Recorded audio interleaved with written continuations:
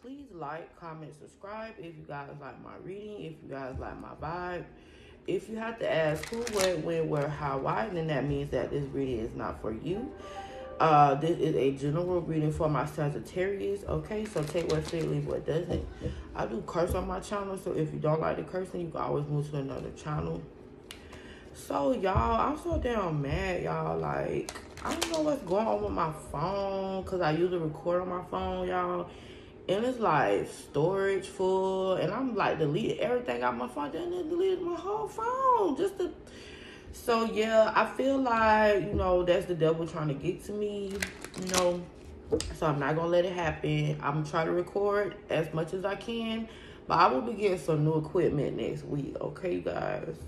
So just work with me, work with your girl, all right, because I love y'all and you know, I know that y'all want y'all readings and I want to read for y'all too. So just work with me. But I'm finna hop into this energy, y'all, because I gotta clock in a word. Give me more on, give me energy for my Sagittarius spirit. What is the energy for my Sag? Give me the energy for my Sagittarius. So someone could be having legal issues. Someone got sued, fighting a court case, getting a lawyer contract is going wrong. Someone is very stressed out about this. Okay, someone has been taking shortcuts, not doing their job well, not fulfilling commitments, lazy, causing more work for others. All right. And this is someone who you had to cut off. This is someone who had no regard for right or wrong, displays violent or antisocial behavior, mental instability. This could have been someone who was like maybe an earth sign you were dealing with, Virgo, Capricorn, Taurus, okay? But this person was taking a lot of shortcuts, not loving you right, not taking care of the family. This person could have been a narcissist. But we'll get some more clarifiers on this, all right, just to um, see what's going on here. I hope everyone is doing well this morning. I'm doing okay minus the bullshit, y'all. Like, that shit really had me mad because I made like two reads last night I had to, I couldn't even upload.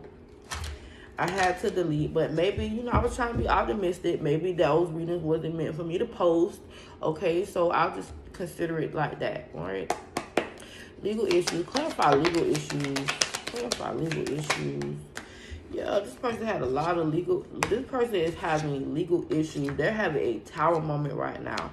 All right, they they have stepped back from everything to gain a different perspective because this person had a lot of daydreams, illusions. They put a lot of people, places, and things before you and covers you up with a blanket. And now shit done hit the fan. All right, they see you for who you are now. They realize you were the most valuable person in their life, and they stressed out about this. All right, now that this someone probably not took them to court, yeah, but this person could have gotten a group conflict. Okay? Um that causing to have some type of legal issues and this person is feeling isolated right now.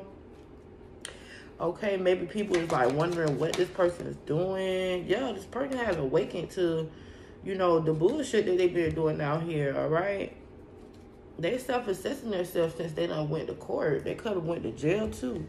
Clarify taking shortcuts. Clarify taking shortcuts.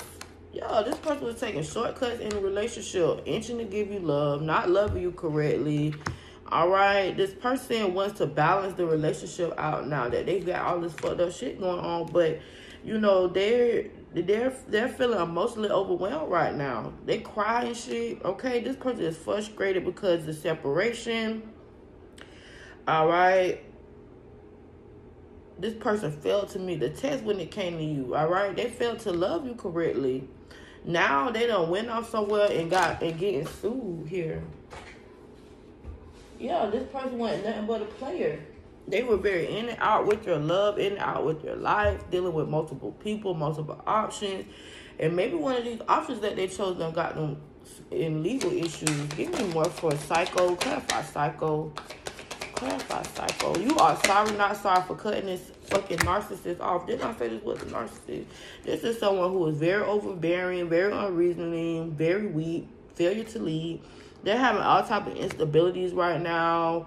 Being a sloth, okay, being a failure here. All right, doing this of the mind because they're so stressed out with these legal issues that they're having. Give me more. That's probably why this person was acting the way they was acting because they so stressed out. They probably having some type of mental breakdown. Uh, this person is very secluded right now.